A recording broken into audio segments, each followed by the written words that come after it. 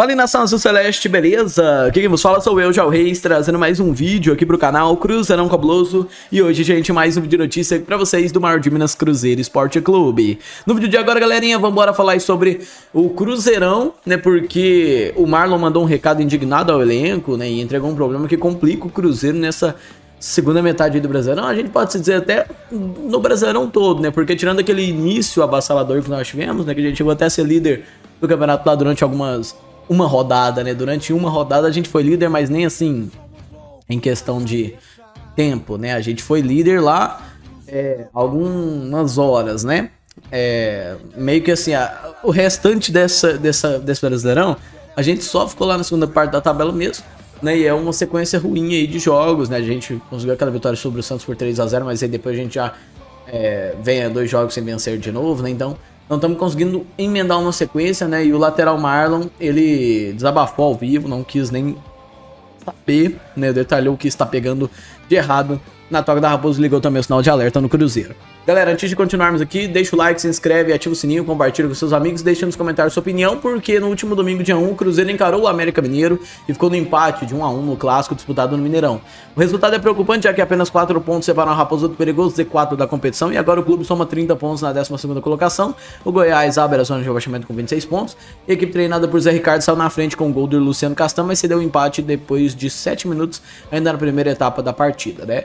E aí, em sua terceira partida no comando do Cruzeiro, o Zé Ricardo ainda não fez a equipe decolar e adquirir a consistência competitiva necessária, pois soma uma vitória e dois empates. O lateral Marlon colocou o dedo na ferida após a partida e fez um desabafo contundente.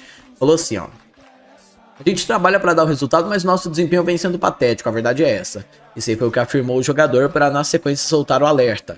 Marlon fez um chamado a todo o grupo apontando o principal problema e foi sincero ao destacar a falha em não conseguir superar um adversário que briga nas últimas colocações, dizendo: Com todo respeito ao América, mas estamos enfrentando o penúltimo colocado em casa, sabendo que é um jogo de vital importância. A gente arranca na frente e toma um gol em uma jogada que a gente já sabia. Já passou da hora de a gente parar de dar desculpa e dizer que é inadmissível o que está acontecendo. Jogadores que jogam no Cruzeiro jogam a primeira divisão, precisam estar concentrados, tanto o Marlon quanto o elenco todo tem que estar ciente que temos que entregar mais. Nesse foi o que disse o Marlon, é, falando sobre o rendimento preocupante que já irrita a torcida e o Marlon também destacou essa situação e falou: A gente tem, se não me engano, a segunda ou terceira pior campanha em casa por falta de capacidade nossa. É compreensível o torcedor porque o time não entrega um futebol necessário para buscar os pontos e por isso estamos mal na tabela. Temos que usar o fator casa como força maior. Agora é ter as costas largas, aguentar a pancada porque temos que entregar o resultado e isso não está acontecendo. E assim, o Cruzeiro em casa é inadmissível essa campanha que nós estamos fazendo. Não vem sendo legal, né? E agora a gente tem que tentar meio que recuperar alguns pontos perdidos aí fora, né? Já no próximo jogo contra o Cuiabá, né? Então, Lembrando que o próximo jogo é só daqui uma semana e pouco ainda, né? Sem ser nesse sábado no próximo ainda, né? Então tem muito tempo aí pro Zé Ricardo trabalhar a equipe, tentar dar uma estudada aí no Cuiabá, né?